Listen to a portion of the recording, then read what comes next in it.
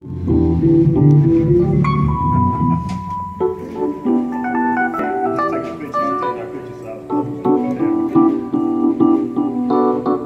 Vince Robinson. Hey, Vince. Hey, the Vince Robinson. Michael J. The Michael J.